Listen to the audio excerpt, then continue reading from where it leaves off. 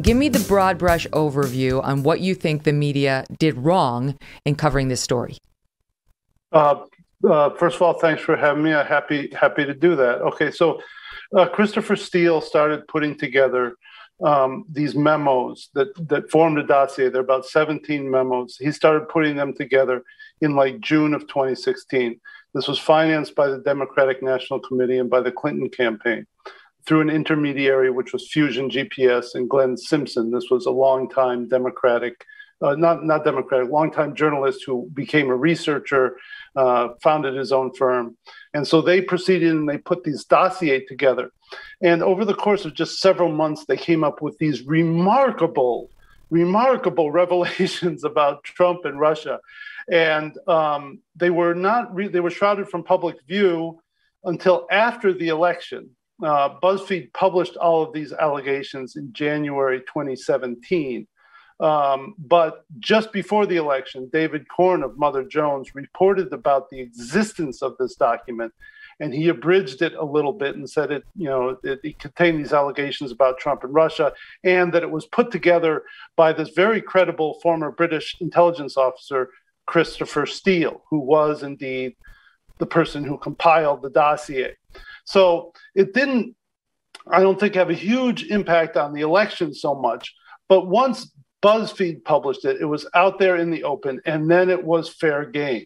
And that's where I sort of come in um, and discuss how CNN, um, MSNBC, um, the McClatchy newspaper chain, um, and a lot of different pundits um, really, really added a lot of credibility to this thing. They constantly hyped it, and any little thing they could catch, uh, they could glom onto, they did, and uh, they made it sound far more credible uh, than it was.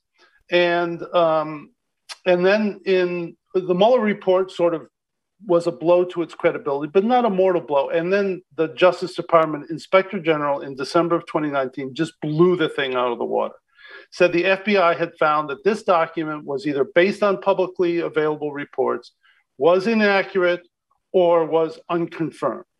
And so it's three baskets, all of which pretty much uh, uh, amount to a lot of garbage. Mm-hmm. Um, so uh, that's what happened. And, uh, you know, I have named the organizations that were really front and center in pushing this thing, I think the two worst offenders in terms of you know uh, volume is uh, MSNBC and CNN, but the McClatchy newspaper chain buttressed one key allegation in the dossier, and that was Michael Cohen having allegedly visited Prague to meet with Kremlin representatives for some collusive purpose. That hasn't that hasn't ever that hasn't ever panned out. Mm-hmm. You know, I think at this point we can say it's bullshit, right? Mm-hmm. Oh, can I say that here? I'm sorry. Yeah, no, you can. Um, and just to jump okay. in on that, the story was that Paul Manafort, who had been running the Trump campaign, he was the original connection with the Russians and helping right. sort of pass information. And then when he got in trouble, it was given to Cohen. So Cohen took the secret trip to Prague, and even Cohen was like, "No, I didn't. No, no, I didn't." No. And the media no. that wound up falling in love with him won't accept that. Right, exactly. Because now Michael Cohen later, you know, flipped on Trump. And so he still says that he didn't visit Prague. Right. And everybody's everybody's saying, well, if Michael Cohen flipped on the president and he has nothing more to hide, why would he hide his trip to Prague, right? Right. Why would that be the one lane he didn't feel comfortable impeaching Trump on?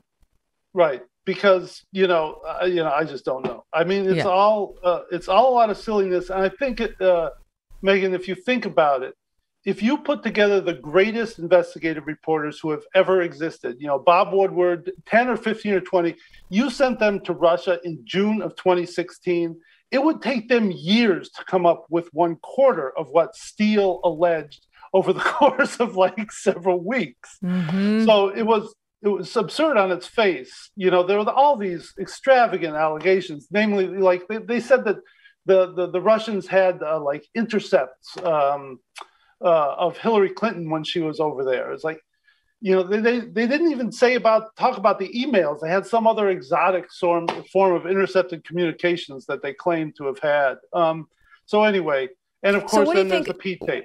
What do you think this was? A function of, you know, especially back in 16, but I mean, uh, equally in 20, the media hated Trump, definitely wanted Trump to lose. wanted to believe. When you get into the place as a reporter of wanting to believe it's true, gosh, you have to be so careful about checking yourself over and over again, which is even harder when all the press around you is jumping on the story, advancing it, getting leaks from the FBI, the DOJ, people who you would normally find credible, and it's it's very hard to go back to the newsroom and say, "Now wait. What do we actually know? What are the reasons to doubt? What does the confirmation look like?" And it just seems like that just it just wasn't done it wasn't done, but I would say as a caveat that there were several, many newspapers that didn't jump in with both feet. Um, New York Times is uh, one of them. A couple of the other networks, the, the ones that I named are really the main culprits. And, and when you talk about, you know, wanting to believe, in my own, I know that that, that, that involves some something of an unlawyerly um, speculation. And I think that's fair. You know, when you watch media coverage, you can sort of uh, at some point divine some degree of motivation. The way I see it is that really showed up to me the strongest on Rachel Maddow's show. Um, because on her show, she really seemed like she was wanting this thing to be true. And she kept going back at it and saying, Ooh, looks, you know, every time there was some little bit of positive, you know, uh, correlation with reported facts and the dossier, she's like, This is lining up she did a special report about it, I think was late in 2017, and she's talked about Christopher Steele's deep cover sources inside Russia. Oh, deep boy. cover. Um, and as we found out later, basically Christopher Steele and this other guy, they basically had nothing. Like these mm-hmm. were this was a research guy who had worked at the Brookings Institution. this was no deep cover operation. You know, it wasn't right. even close. But you know, it struck me that she was really really hoping that this was going to come true. She seemed and, to, to, to fancy herself a modern day Woodward. You know, she was going to be the one to get the leaks, to bring him down and show. And this is what our team pulled something, um, just a little sample of Rachel Maddow on this story. This is soundbite number 10. Take a listen. Russia. Russia, Vladimir Putin, Russia, Russia, Russia, Russia hates Russia, Russia, Russia, Putin, Russia's Russia, Russia, Russia, Russia, Russian, Russian, Russian, Russian, Russia, Russia, Moscow, Moscow, Russia, Russian, pro-Russian, Russian, Russia, Russian, Russian, Russian, the Russians, Russian, Russian, Russian, Russians, Russians, Russia, Russians, Russian, Russian, Russian, Russian, Russia, Russian, Russian, Russian, Russian, Russian, Moscow, Russian, Russian, Russia, Putin, Russian, Russian, Russian, Russian, Russian, Russian against us, Russians, Russians, Russia against the U.S., the Russians, Russian, Russian, Russian, Russian, Russian government scheme, Russians, Vladimir Vladimir Putin, Russia. Vladimir Putin, Russia. Putin. Putin and Russia. Russia, Moscow, Russia. Russian, Russian, Russia. The Russians. That's amazing. That's amazing. Uh, and you know what, Erik? That was all from one show. That was from one show in March of 2017, but it does give you the flavor of what her show sounded like night after night. It, it, it was, it was, you know, I watched or listened to uh, just about all of Rachel Maddow's stuff during that period. Um, and uh, I do think that there's something of a bifurcation when she was covering, you know, sort of like um, trials and court uh, proceedings in the United States. She was pretty careful to stick to what was in the papers. With the dossier, I felt she went completely off the rails.